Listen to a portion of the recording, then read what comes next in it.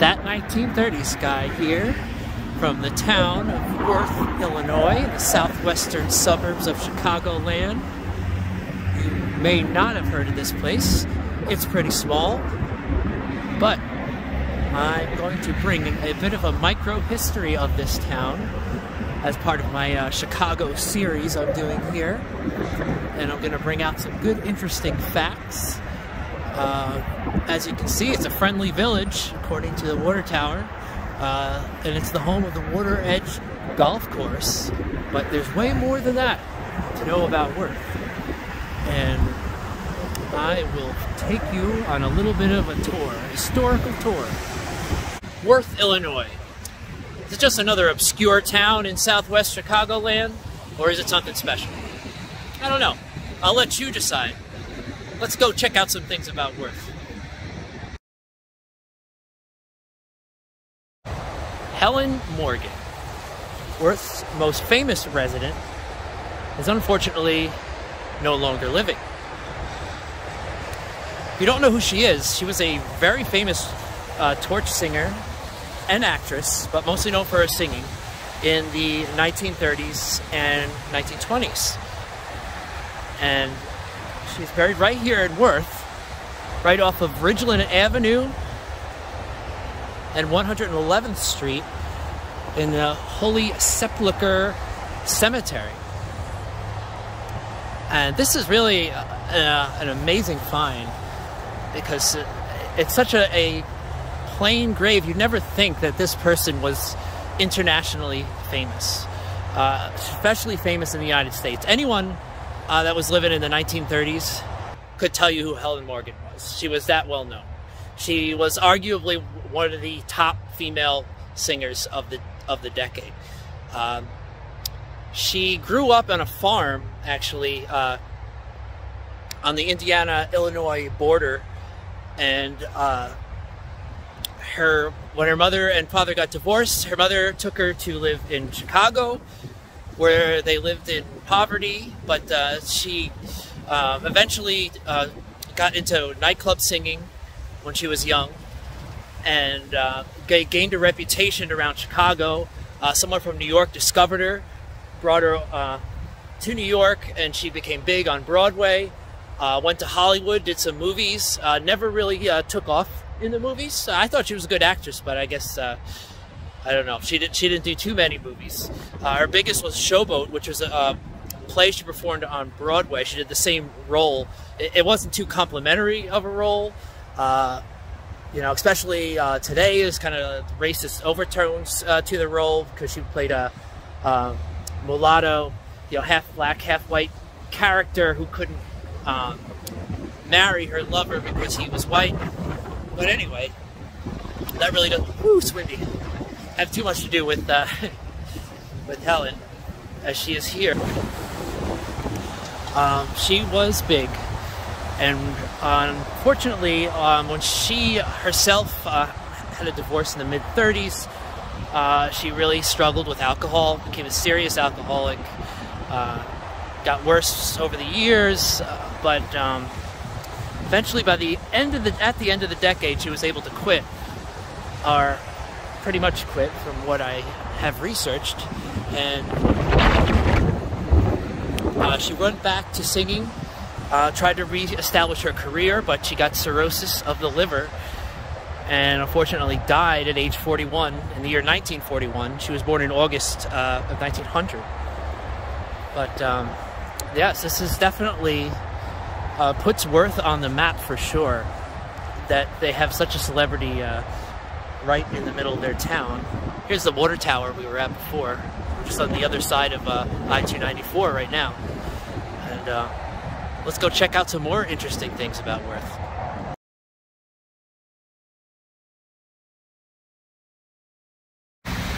Here at the intersection of 111th Street and Harlem Avenue, this can arguably be called the center of Worth, the heart of Worth. It's certainly uh, the busiest intersection.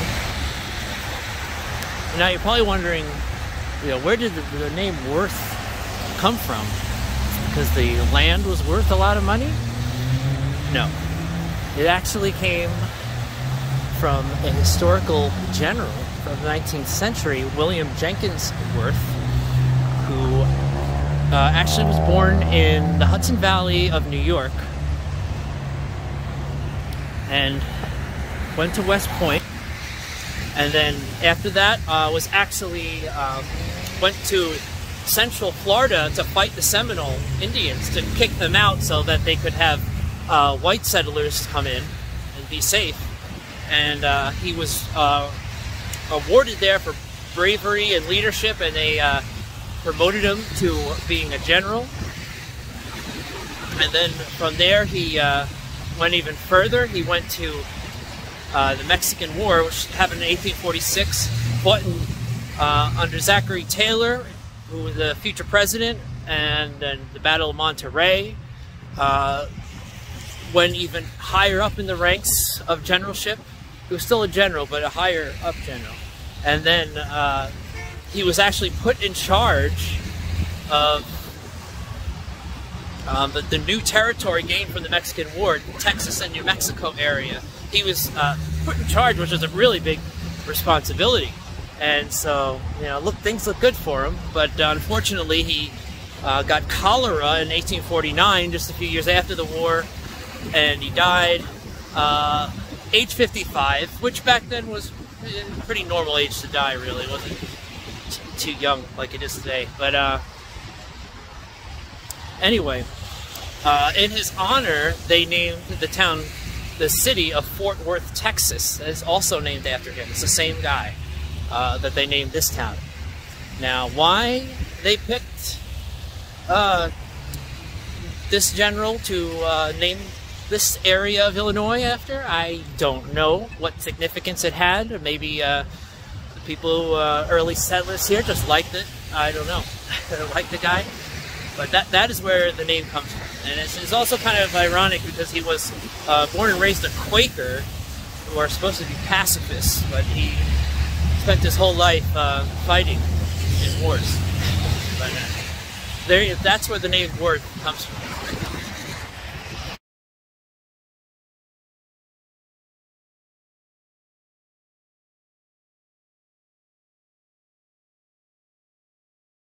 Okay, we are now going to walk through one of the nice uh, residential areas of Worth and talk a little bit about its uh, beginnings. Uh, the first uh, land purchase that we have recorded from the 1830s uh, was 72 acres in this area, was uh, sold for $91, and it grew slowly as a farm community after that. Um, there was some activity because there was a uh, Illinois Michigan Canal was in the area, uh, so there was that brought some people. But uh, when they got a railroad connection in the 1860s, that's when it really started to boom. Uh, that's when they got the first um, you know, school district was set up, uh, and the school was built. And by the turn of the century, uh, there was a there was a good influx of people coming in due to a racetrack a horse racetrack that was uh, made. Uh, it opened actually in the year 1900, where the Holy Sepulchre Cemetery that we were at earlier, uh, that was actually the racetrack, and it lasted for a good five years. It was very popular. People from Chicago would come out, uh, play some bets, have a good time. Uh, but the state of Illinois didn't like that. They shut it down because of gambling. Uh, but it was a big spurt to business for the town, and uh, after that, as far as I, I researched, uh, it, business uh, was very good uh, during the, the, next decade. Uh, World War brought more business to the area. Uh, the whole, you know, Chicago area did a lot because of industry during that time. And then the 20s, they had the big suburban boom.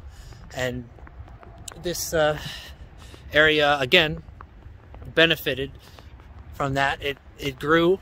Uh, it was actually a little bit bigger than the surrounding towns for a little while, even though now it's just this tiny little area.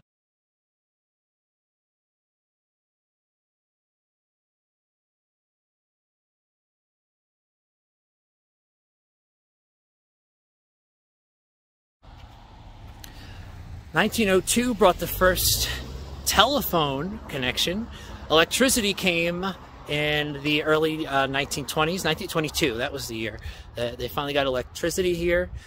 Um, and the reason I brought you down this particular street, 113th uh, Street, this is, uh, is because the oldest still standing structure in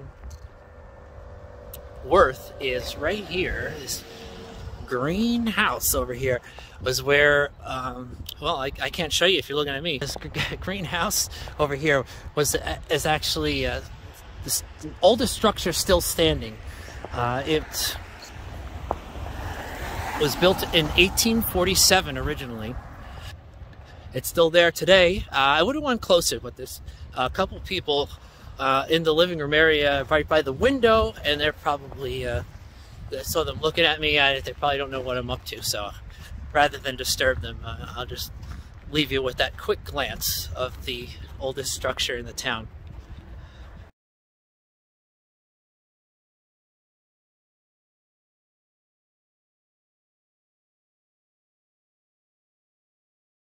Here is another historic district of Worth, uh, right near the train station over here. We'll check that out in a little bit.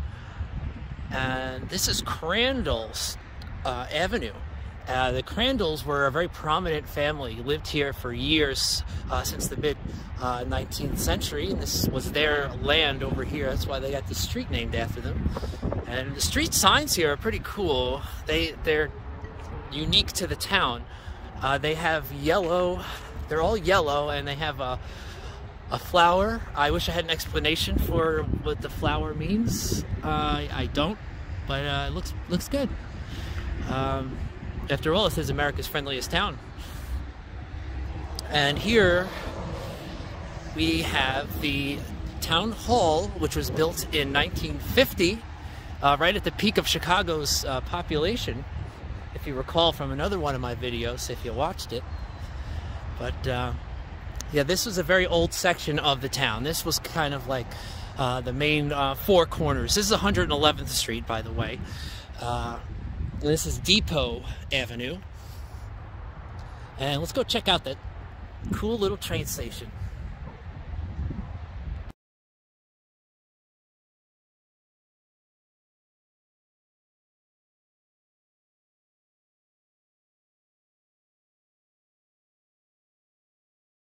Here is Worth's cute little train uh, station here.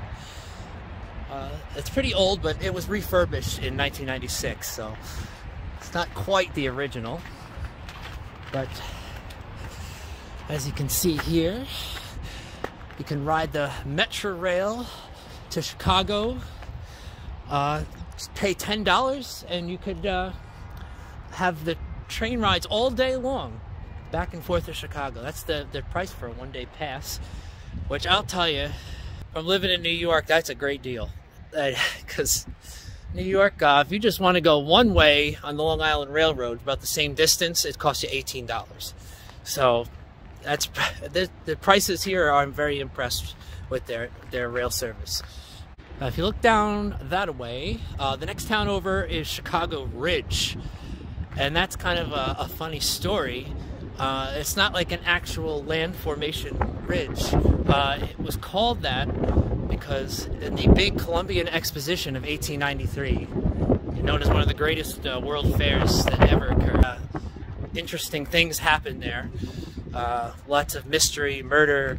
Uh, they invented the ice cream cone. but anyway, they needed to remove a lot of dirt from downtown area of Chicago to host the fair and the Chicago Ridge areas where they put it, there wasn't too many people living there at the time.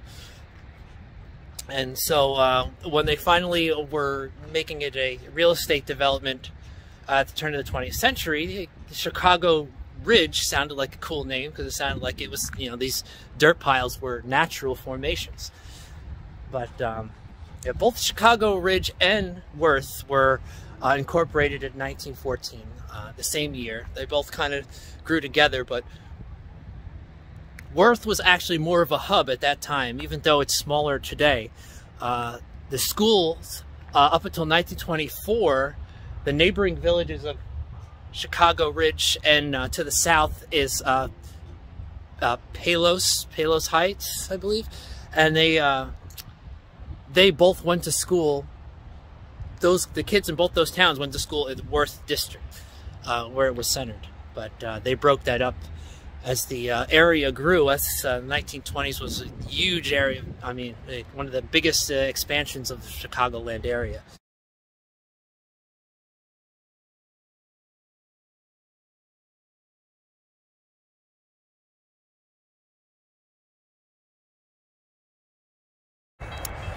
And here, in the heart of Worth, we have a pathetic looking little snowman, but that's not uh, what I'm here for. Um, I'm here to tell stories about Worth.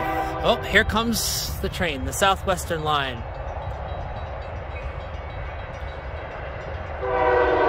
It's headed away from Chicago It's afternoon, so I guess it's bringing people home. One of the many uh, sites uh, you see daily here in. Anyway, so what about the 1930s? I'm the, that 1930s guy. I haven't said anything about the 30s yet. Well, not too much activity happened, but uh, they did get a uh, federal loan, WPA loan, to expand the school district here to make the schools, uh, new schools, bigger schools, which they needed uh, desperately because of the growth in the 1920s uh, that all the Chicago suburbs experienced, and so they they did have a little bit of New Deal money coming into to Worth in, uh, in the 30s, in 1934 specifically. But uh, another big federal project that affected Worth uh, is right over here.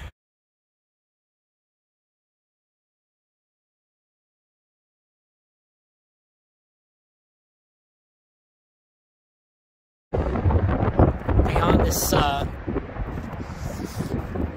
I'm not sure exactly what it is over here, but some kind of recreational, looks like a, a batting cages, uh, maybe mini golf setup, I don't know.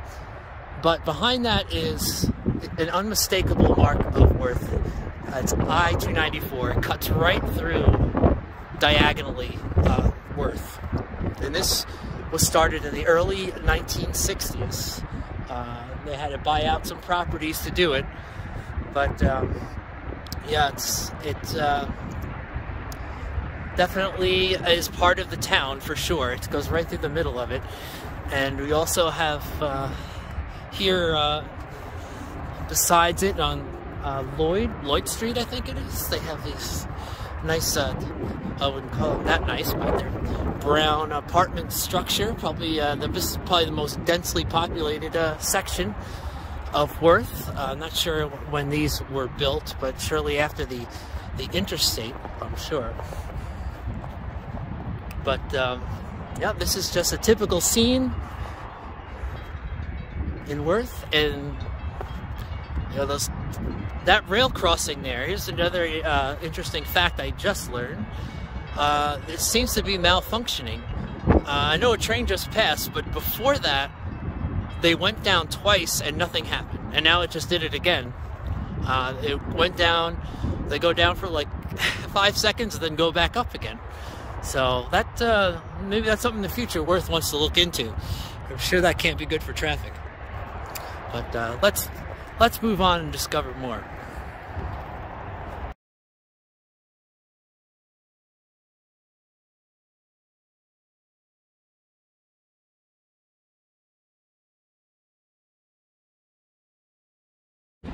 And I'll conclude this video with a good view of the historic uh, center of the town here, Depot Avenue and 111th Street. And um, here is the parking lot to the train station.